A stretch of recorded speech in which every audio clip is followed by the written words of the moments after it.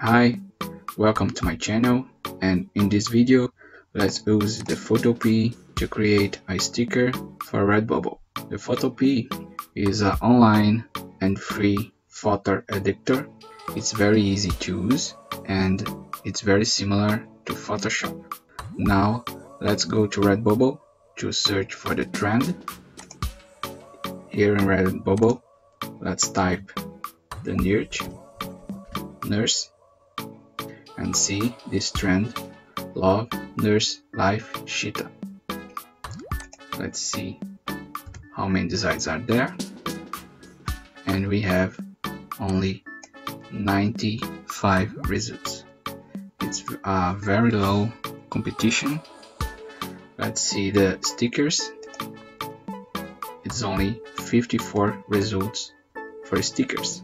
So the nurse is a huge niche that can bring a lot of sales and we go make together a stick for this trend. You can search the Photopea on Google. Go to the Google and type Photopea. It's the first option. Click and we have the software. Now let's make a new project and let's use the dimensions of 2800 for 2800 let's click on create. And we have our file. For this video we will use this graphic. See is the word nurse with the cheetah pattern. It's similar to cheetah skin. It's related to the trend. And I will pass this graphic on to you. Look at the video description, take the file, and let's create our sticker. On Photopea, first let's insert the graphic Let's click on File, click and Open and Place, Downloads, and the nurse file. And we have click here to confirm, and click here to move to, and we have our graphic. With this graphic, you will create the related phrase with this trend. So I will show you one example. Let's use the text function. Click here and I will type a phrase, for example.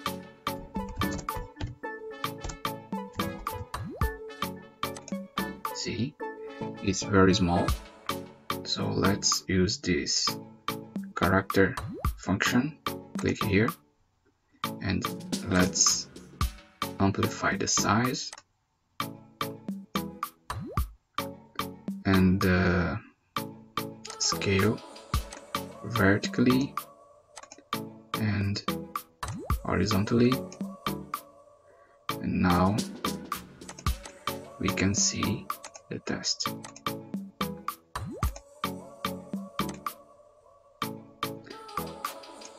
let's click on move to and click here on transform controls. Let's adjust the phrase. Click here to confirm.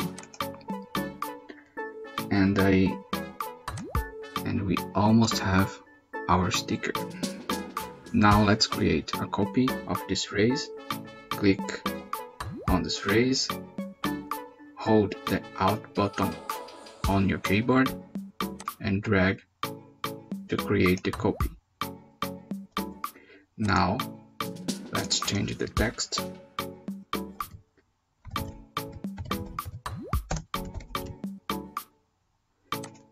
And we have our sticker. To make this text more evident, let's create an outline. Go to the layer of this text. Click in this corner. Double click. And you will, you will see this window. Let's click here on stroke function. And click here on the name. And you'll see the outline in red let's change the color click twice and click here. I will put the white color okay. And to make the text more evident let's increase a little the ticker. Let's click OK. And we have our sticker you can use this graphic and you can change the phrase. You can create your own versions of your sticker. And after this let's remove to background to have transparent background.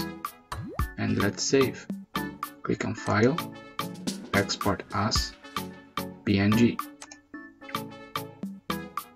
let's click on save and now we have the file and it's just make the upload on Redbubble. Thanks for watching, until next video.